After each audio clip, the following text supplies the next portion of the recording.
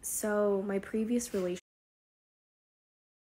so my previous relationship that I literally just got out of um, put me through a tailspin of PTSD over a lot of like crazy shit that my ex would just lose his fucking mind over.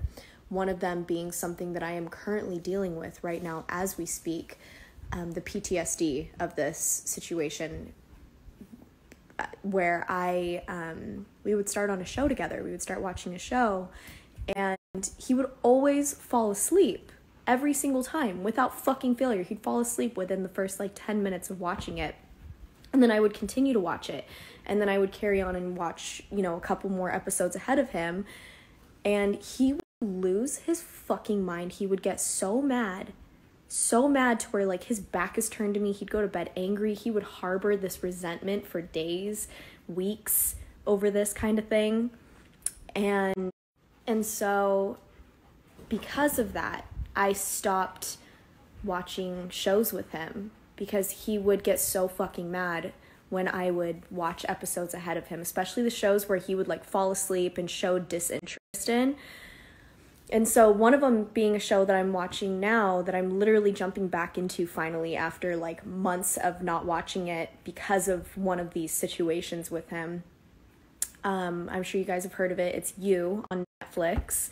I have seen every single season up to the brand new season that just came out. And I started watching it before bed every night.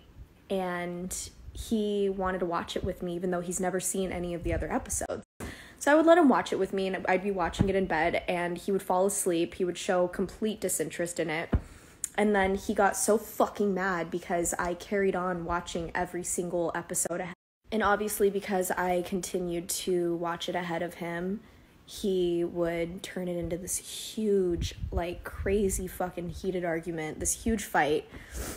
Um, instead of just being like, yeah, babe, it's whatever, like I don't give a shit, or babe, can you go back and like rewatch the last couple episodes with me so I can catch up? Like, I would have been so down for whatever, but he's got a busy schedule. He can only watch shit when he gets home from work he's already fucking exhausted and he's ready to go to bed and so he'd fall asleep every single fucking time and i want to watch my shit like you, you, like we have so many shows or we had so many shows that we had together that i never watched ahead of him but there were some shows that i would watch for myself that he would want to watch with me like the handmaid's tale or like started watching the show you with me.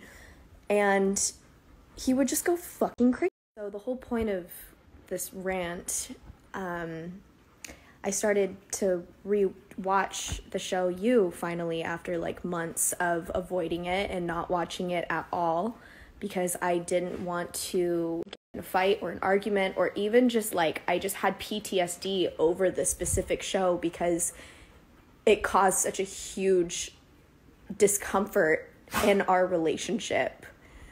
And I'm gonna fucking cry over this. Like, this is crazy. Like, I'm on my period, so I apologize if I look like I'm being dramatic. Like, but like, I just started rewatching this, and like, I almost had this like sense of PTSD. Like, holy shit! Like, is this safe to watch? And it just started resurfacing like all those fucked up feelings and like all that tension and fear and all that weird shit. And I just like I I I hate myself for putting up with that for so fucking long and like now I'm trying to like pick up the pieces of all the you know, the people that I pushed away and the things that I put off and the shows that I stopped watching and like all the things that I did to cater to his shit and his emotional fucking instabilities and his outbursts and all his crazy shit to cater to him and make him feel good and make him feel happy in this relationship with me or even just to make myself feel happy in this relationship with him and like this is one of those things and it's like really fucking hard right now. I don't know why. Like i feel like someone's gonna come in and fucking yell at me right now. Anyways i don't even know why i started talking about this. Just thought that i needed to like vent about it.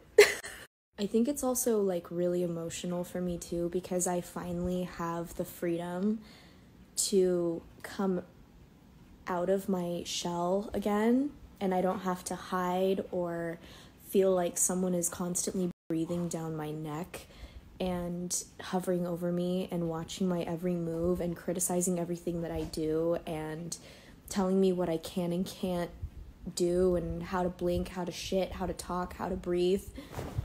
And it feels really good. It's just it's just weird because I spent so much time allowing someone to dict- dictate everything that I do with my life to make them happy because I'm a fucking people pleaser. Whatever. And it just I just feel free now and it's it's kind of I was just saying that it just feels liberating, but it's also stressful because I have no idea how to like navigate this right now.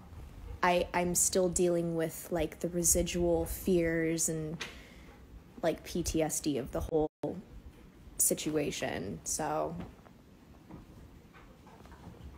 so I'm going to watch this and enjoy my life and feel free to watch it as much as I want and how long I want to watch it for and binge through every goddamn episode if I want